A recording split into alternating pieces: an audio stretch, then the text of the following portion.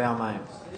Thank you very much, Mr Speaker. I rise on behalf of the Greens to address this petition and start from the outset that we are strongly supportive of this petition. I thank the member for the Blue Mountains, a fine local member, for bringing this important matter to the attention of this House. I'm pleased to contribute to this debate on behalf of the Greens. I'd like to acknowledge the work of my colleague Jan Barham in the other place in the Legislative Council in her role as the chair of the Legislative Council Committee inquiring into registered nurses in nursing homes.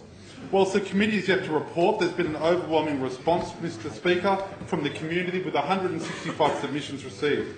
I'm aware that almost 80% of the submissions called for the New South Wales law requiring a registered nurse to be on duty at all times in a nursing home to be retained. Within my electorate, there's seven nursing homes and, and, they accommodate over 600 older residents. Unsurprisingly, the population is ageing in line with the overall trend throughout New South Wales, and it's estimated the number of people aged over 65 will double to almost 14,000 in the next 20 years. That's up to just over 20% of the population. And what's clear is that registered nurses, in the face of this demand, are best placed to provide the skilled, expert clinical care to the residents of New South Wales, with the key principle of high quality, timely and equitable services. I note and support the New South Wales Nurses and Midwives Association recommendation that legislation in this state should retain safeguards to protect older people in our community. I also note concerns from the Australian New Zealand Society for Geriatric Medicine New South Wales Division to the reduction or removal of registered nurses working at aged care facilities.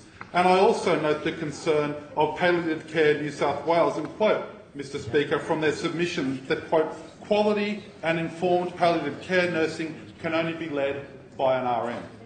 Mr Speaker, that marks a clear point which this House should listen to and should understand. I note that uh, the leader of the Australian Greens, a former doctor, uh, was in my electorate in March and we signed together with a member for Newtown and also supported by my other Greens colleague, member for Ballina, this supporting this petition so we are backing this both in federal and state parliaments. But, Mr Speaker, what is important is that we note the work of all of those people who have helped bring this petition to the parliament. And congratulations to each one of you who have put this debate to the parliament today. And I will conclude just by reading from the petition that registered nurses provide the skilled clinical care to the residents of New South Wales.